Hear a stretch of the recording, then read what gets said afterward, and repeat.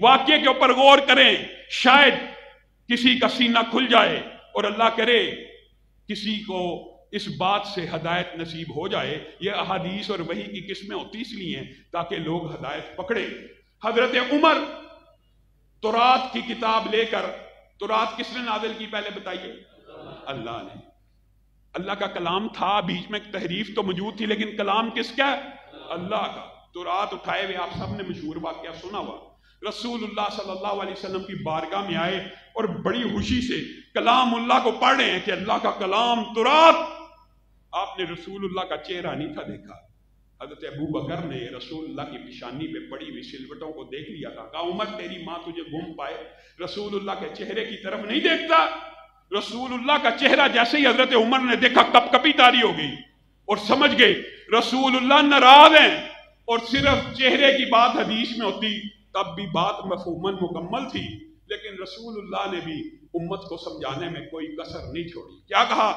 لو بدا لکم موسا فتبعتموه وتركتموني لظللتم عن سواء السبيل اللہ اکبر۔ نبی کریم صلی اللہ علیہ وسلم نے کہا، یہ تورات اللہ کی کتاب تھی، اللہ کی کتاب تھی، اللہ ہی کی طرف سے نازل ہوئی تھی۔ لیکن جب میں محمد صلی اللہ علیہ وسلم آ گیا، میری حدیث آ گئی، لو بدا لکم موسا اگر موسا بھی اب زندہ ہو کے آ جائیں فتبا تم کہتے ہو اماموں کے پیچھے چلیں۔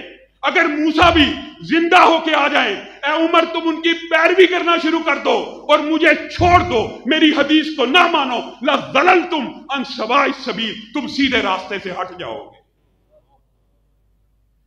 حدیث کے مقابلے میں ترات، حدیث کے مقابلے میں حضرت موسا بھی آ جائیں۔ ان کی بات رسول اللہ کی بات کے سامنے نہیں چل سکتی، بلکہ کیا کہا؟ لو کانا موسا حین وادرا کا نبوتی لتبانی موسا زندہ ہو کے بھی آ جائیں، زندہ ہو کے بھی آ جائیں۔ تو میری نبوت کو بھی پالے تو ان کو بھی میرا امتی بنے بغیر چارہ نہیں ہے۔ اور یہ بات صرف رسول اللہ صلی اللہ علیہ وسلم نے نہیں کی، اللہ نے بھی کی۔ لَتُؤْمِنُنَّ بِهِ۔ اللہ نے بھی کہہ دیا کہ ایک انبیاء کا اکٹھ تھا، میں نے ان کو کہہ دیا تھا۔ جب کالی کملی والا آ جائے، جب تاجدار ختم نبوت آ جائے، پھر تم نے اپنی نبوتوں کو نہیں چلانا، کیا ماننا ہے؟ اس کی حدیث کو ماننا۔ ہم اور آپ اس مسلک کو، اس منہج کو کتنا ہلکا جانتے ہیں۔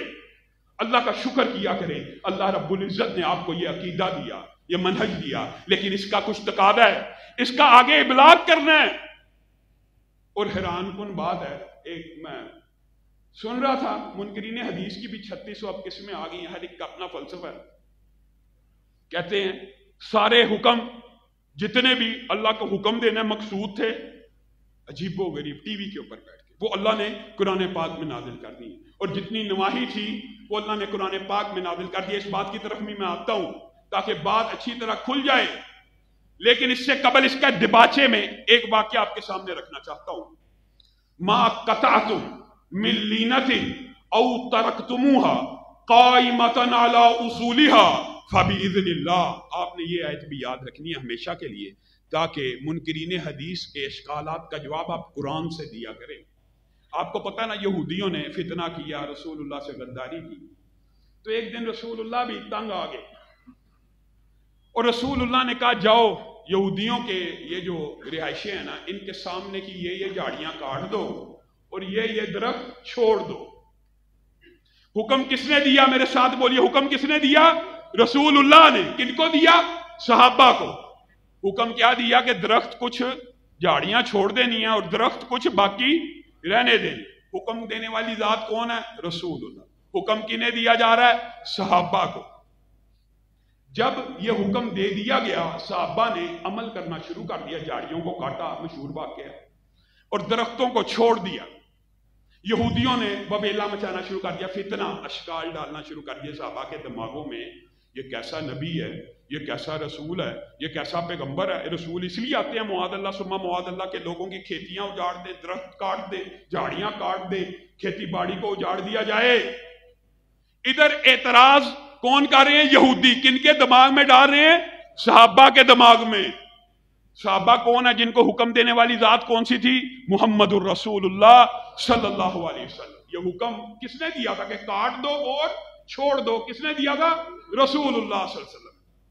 جب یہودیوں نے اشکال ڈالنا شروع کیا، تو اللہ تعالیٰ نے بھی دیکھ لیے کیسے منہج علیہ حدیث کو بیان کیا۔ اللہ نے کہا، ما قطعتم من لینت او ترکتموها قائمتا علی اصولها فبی اذن اللہ فبی صحابہ کے دماغ میں شکال ڈل گیا نا کہ یہ رسول کیسا ہے جو تمہیں حکم دیتا جاڑیاں کاٹنے کا اور کچھ چیزیں چھوڑنے کا؟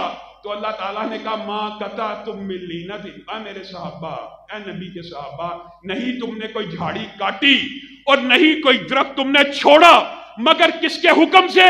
فبی اذن اللہ۔ اللہ ہی کے حکم سے۔ اللہ نے بھی کہہ دیا کہ رسول اللہ کا حکم کس کا حکم ہے؟ اللہ کا حکم ہے۔